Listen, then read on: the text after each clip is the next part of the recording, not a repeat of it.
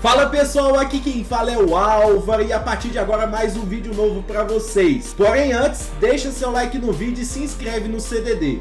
Cada curtida nesse vídeo vai ser mais uma chance do Cruzeiro se dar bem no ano que vem, em 2023, com grandes títulos iguais ao tamanho do maior time de Minas. Tenham todos um ótimo vídeo. Começo do vídeo contei para vocês que o Palmeiras tem dois atacantes que ele adoraria negociar, Breno Lopes e Navarro mas a proposta que surgiu durante o fim de semana foi por um outro jogador, Merentiel, uruguaio, 26 anos de idade, comprado na metade do ano por 7 milhões e meio de reais junto ao Defensa e Justiça. Atacante ainda não conseguiu decolar, muito tímido, entrou em campo apenas 10 partidas com dois gols marcados. Um deles bonito e importante durante o Campeonato Brasileiro, mas bastante aquém daquilo que se imaginava pelo investimento feito. Cruzeiro tem a intenção de contratar o Merentiel por empréstimo. O primeiro contato entre a diretoria já ocorreu e o Palmeiras deixou claro que nesse momento pretende a manutenção do Merentiel. Talvez um negócio em definitivo que recuperasse o investimento pudesse ser bem avaliado, mas o empréstimo está praticamente descartado. O pessoal da Rádio Itatiaia foi quem trouxe a informação sobre o interesse cruzeirense no atacante. Se o Cruzeiro mudar de ideia e abrir mão do Merentiel para sondar o Navarro ou o Breno Lopes, aí assim a coisa pode andar e avançar bastante. Vale a lembrança de que o Hendrick era o titular absoluto no fim da temporada na função de centroavante. Rony pode ocupar essa função na ausência do Hendrick. Logo depois aparecem Flaco Lopes e Merentiel. O Navarro e o Breno Lopes surgem como quinta e sexta opções do elenco palmeirense para essa função de centroavante. O Breno Lopes ainda pode atuar como atacante de lado de campo, mas também sem muito moral junto ao treinador Abel Ferreira. Bora falar agora sobre uma limpa gigante no Cruzeiro que não para de abrir mão de atletas para a próxima temporada. Do elenco campeão brasileiro da Série B com folga, 15 já deixaram o clube. Dois deles apenas por empréstimo.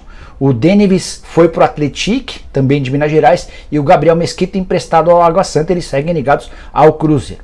Os outros 13 tiveram seus contratos de empréstimo com o Cruzeiro encerrados ou foram dispensados, não tiveram seus contratos renovados. São eles: Bidu, lateral esquerdo, pertencia ao Guarani. Wagner Palha, zagueiro, pertencia ao Santos. Zé Ivaldo, zagueiro e volante, pertencia ao Atlético Paranaense. William Oliveira, pertencia ao Ceará. Pablo Cires, jogador do Atlético Paranaense. Chay, meio atacante do Botafogo. Rodolfo, atacante do América. Já já, ponta do Atlético Paranaense. Além do Lincoln, que pertence ao Vissel Kobe. Todos esses jogadores já foram devolvidos para os seus respectivos times. Por mais que pareça pouco pouco cuidadoso com o seu elenco, você ganha de forma arrasadora a Série B e abre mão de todo mundo, ou de quase todo mundo. Acho que a decisão do Cruzeiro é extremamente acertada. Raposa entendeu que precisaria montar um time mais modesto, que tivesse muita intensidade para jogar a Série B. Realidade na Série A é completamente diferente e por mais que você crie laços e, e uma relação com esses atletas, seria importante negociá-los. Luvanor também está de saída do Cruzeiro, é mais um que vai se somar a essa relação e aos pouquinhos o Cruzeiro vai precisando de contratações. Se você abrir mão de 15 ou 16 atletas, mais cedo ou mais tarde vai precisar repor essas vagas. Nesse momento o Cruzeiro tem enfrentado enorme dificuldade financeira. Contei para vocês no último vídeo que a Raposa tenta três jogadores do Corinthians. Zagueiro Raul, Raul Gustavo, lateral esquerdo do Piton e o meio atacante Matheus Vital. Vital é o mais perto de um acordo. Cruzeiro vai topar rescindir o contrato de forma amigável com o atleta. Vínculo terminaria em dezembro de 23. Vai cedê-lo para o Cruzeiro e vai ficar com 50% do valor de uma venda futura, 100% dos salários sob responsabilidade da Raposa de Ronaldo Fenômeno. Eu dei, um, eu dei uma declaração polêmica aqui na Bahia antes de, de ser apresentada oficialmente a proposta, que eu disse é, se tudo se confirmar, né, do, do que foi negociado, é, a proposta de fato chegar nos termos que nós estamos aí discutindo, nós teremos a, a melhor SAF do Brasil. E hoje eu posso dizer, com essa proposta na mesa, com tudo que nós temos aqui, nós temos a melhor SAF do Brasil. Tá, você pode a dar um pouquinho mais de detalhes? De eu sei, eu, eu sei, Leonardo, que existe muita cláusula de confidencialidade, né? Mas só para que quem está assistindo possa ter uma ideia, por que, que a, essa proposta do City ao Bahia é a melhor do Brasil? Só dentro das possibilidades, dá, dá, uma, dá uma explicada para a gente, por favor. Primeiro, porque é a primeira SAF do Brasil, que é a primeira proposta SAF do Brasil que paga integralmente a dívida, não tem arrolamento de dívida, não tem nenhum tipo de integralmente no pagamento. Integralmente, a, a dívida do Bahia será paga né, pela SAF.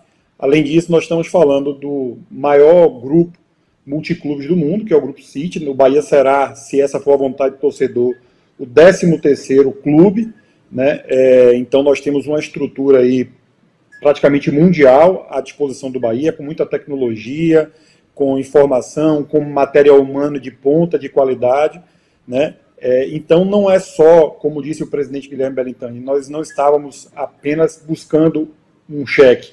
Nesse caso é um cheque gordo de um bilhão de reais.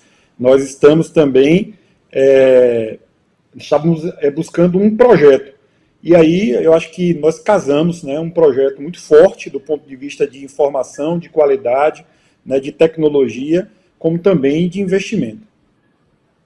Essa promessa de investimento de um bilhão, ela abrange cerca de 340, 350 milhões de reais da dívida e o restante será investido no time ao longo do tempo. É mais ou menos assim, Leonardo? Essa proposta ela tem, ela abarca em torno de 300 milhões da dívida, 500 tá. milhões em investimento é, em atletas, né, a aquisição de atletas e 200 milhões de reais em, em estrutura, né, infraestrutura. Lembrando que isso aí são, é, na verdade, valores mínimos que são garantidos no contrato. Né? Obviamente, o grupo, né, é, com seu histórico aí, com sua pujança, pode fazer e deve fazer, inclusive, investimentos até maiores do que esse ao longo do tempo. Tá. Deixa eu ver se eu consigo fazer algumas confirmações com você. Escutei que a ideia do Grupo City em relação ao Bahia é transformá-lo no segundo mais importante do grupo, só atrás do Manchester City. É, isso existe? Existe. É, é, isso não é apenas algo dito, é de acordo com justamente o investimento que é, que é feito, né, que está parametrizado nesses contratos, é, em relação aos outros, né, esses dados são públicos, então o Bahia na Série A, com investimento é, né, prometido e ali afiançado no contrato, torna o Bahia o segundo grupo do o segundo clube do grupo. Com uma folha para o ano de 2023 de mais ou menos 10 milhões de reais. Você salta de 3 milhões da, da folha atual, eram mais ou menos 6 milhões no ano passado, para 10 milhões no ano que vem. Isso também consta em contrato? Isso foi discutido?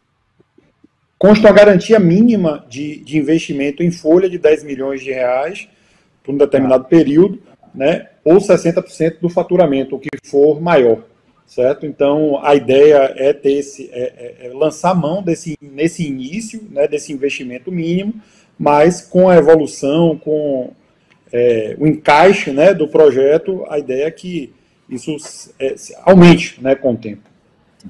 O Leonardo, é, torcedor do Bahia, é muito ansioso. Você deve saber melhor do que eu. E como a gente tenta falar sobre todos os clubes, eu recebo muita pergunta de torcedor. Nicola, por que, que o Bahia ainda não contratou técnico? E eu tô tentando explicar para os caras que não dá para contratar ninguém antes da aprovação dos sócios. É isso mesmo. É, antes do dia 3, por mais que o Bahia e o Grupo City já tenham avançado em, algumas, é, em alguns momentos, não dá para anunciar nada?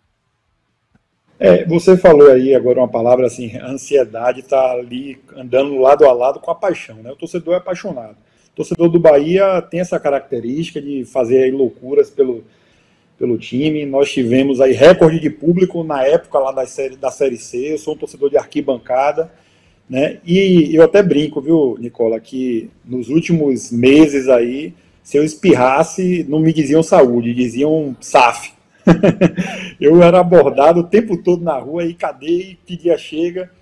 E é mais, uma, mais, mais um momento desse. Né? Nós tivemos aí, ao longo desse quase um ano, Nicola, é, e eu tenho muito orgulho de dizer que o Bahia, mais uma vez, foi vanguardista. Né? Porque a maior parte dos clubes que se, que se tornaram SAF é, passaram a estudar sobre o tema SAF, passaram a discutir com a proposta na mesa já.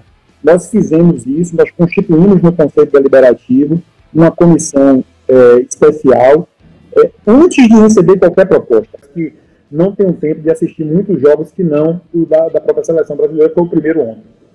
Deixa eu te perguntar uma coisa. Você gostaria de viver de YouTube? Fazer seu próprio horário, trabalhar de onde você quiser e principalmente gerar muita receita?